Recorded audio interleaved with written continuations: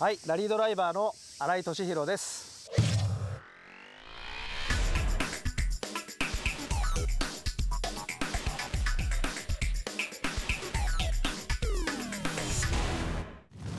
レースドライバーの谷口信輝です。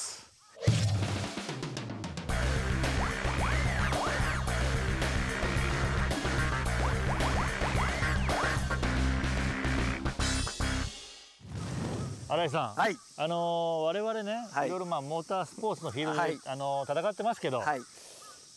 さすがにあの新井さんと僕は何も接点がないですよね。ないですよね。前スーパー卓球の時ね同じクラスで走っててああ。ツッコミが早すぎるとで谷口に怒られたことあって そうか、その時はありましたね。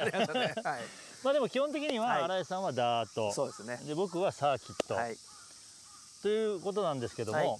まああのなんか今日今回の企画ではいお互い使ってるテクニックが違うじゃないですか走ってるのが違いますねはい。でもこのふ2人がどちらが速いのか、はい。決着つけろみたいな企画を用意されたらしいです。はい。まあ僕ダートははい。経験全然ないんですよ。はいはい。まああのゼロじゃないんですけど、はい。でもほぼ皆無なんですよね。ねはい。えー今日ここはですね、はい。千葉県のあはい。の、オートランド千葉。はい、はい。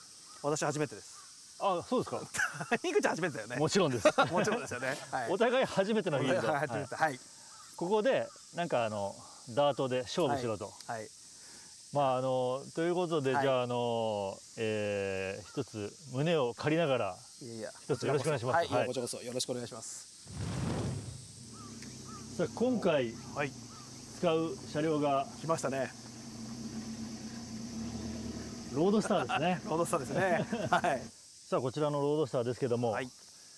まああのパッと見て思うのはタイヤとはい。ロールバーとバケットぐらいかなと、すね。はい。改造ポイントが、はい。あとブレーキパッド、はい。まあ、あのエンドレスさんのパッドが入ってて、はい。アドバンのタイヤ、ね。はい。これは何用タイヤっていうんですか？これねダートラによく使うんですよ。ラリーだとよっぽど雨降ってる時以外はこのタイヤ使わないんですけど。ラリーとダートどう違うんですラリーの方がどっちかというと車速がもっと高いので、はい。こういうタイヤだとね横側滑ってっちゃうんですよね、はいはい。でこれはどっちかというと立ってブレーキ加速ブレーキっていうそういうに使うタイヤなんで。かこれってはい。よくわかんないんですけど減るんですか、減ります。多分後ろはどんどん減っていくと思いますよこれ。えー僕から走りたいと思います、えー他にはですね、まあ、まあバケットシートですね。ちょっと見てみますか。いろいろと競技車両な感じであのあれですね。全部剥がしてあって、そうですね。軽そうは軽そうです軽ね軽いでしょこれだろうね。はい。はい。でまあしっかりロールバーが入ってるんで、はい。何かあった時でも大丈夫と。はい。はい